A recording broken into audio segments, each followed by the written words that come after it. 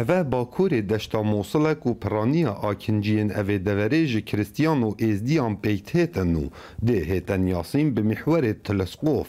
کو نها هزم پشمریه برانبر لشکر عراقی و حشدا شعبی چپر لی داینه له هندک جهان کمتر جه 300 متران جه هفدو دورن به گوره لدوانین هزم پشمرگی کو چند جاران لشکر عراقی و حشدا شعبی هول داینه جبو کنترول کرنا اوه دوره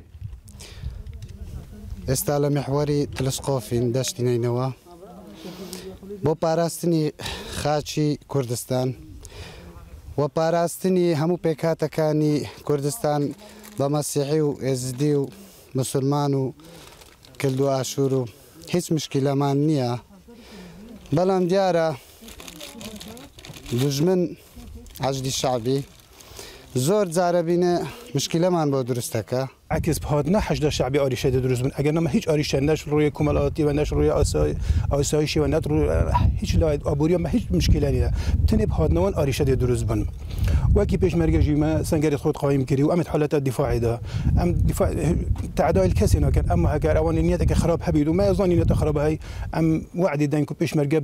تون ترین شیوه دی برسو برسو وادي برسفوان نه وناهل ديك خاک کردستان پیروز او پیز بکن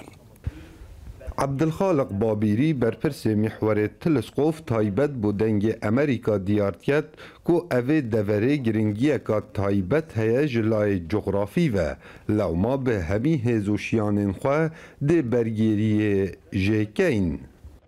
و همی همی بر هویت و هنبو براواکن و جغرافیه او منوید ام